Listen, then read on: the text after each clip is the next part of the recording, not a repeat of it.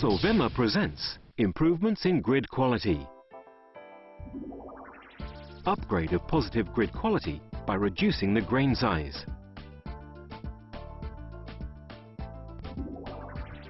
The best grain size is achieved by rolling lead strips at reduction rates greater than 85%. Research has shown that the strength of materials depends on the size of the crystals. Through a constant factor based on the kind of material used according to the following formula. During the grid manufacturing phase, it's very important to reduce the size of the crystals which form the structure to a minimum in order to improve resistance to corrosion, adhesion of the positive active mass to the grid, endurableness in process handling, Sovema takes advantage of the recrystallization technique by rolling the lead strip in such a way that reduces the original thickness by upwards of 85%. As you will be aware, in the cold rolling phases, you achieve different effects on the crystal composition of the strip, i.e. the first casting produces crystals whose size grows naturally by between 150 microns and 200 microns.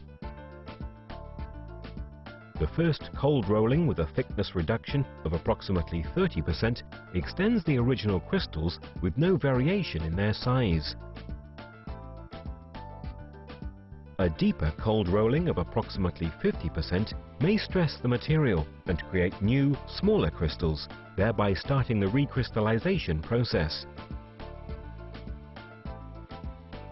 Cold rolling, which reduces the original thickness by up to 70%, gives rise to a significant increase in the amount of new crystals generated by the mechanical effect. However, the only way to be sure the material will recrystallize completely is to choose a level of cold rolling which reduces thickness by upwards of 85%.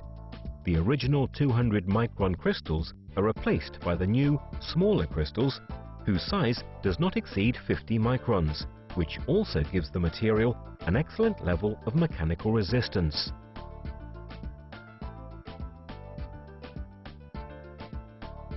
Sovema suggests you start with a strip of this kind for the production of the grids in order to ensure optimum performance. This can be achieved using Sovema's strip production line, which offers a variation in thickness from 13 mm up to 0.75 mm thus obtaining the following reduction percentage equals 94.2%.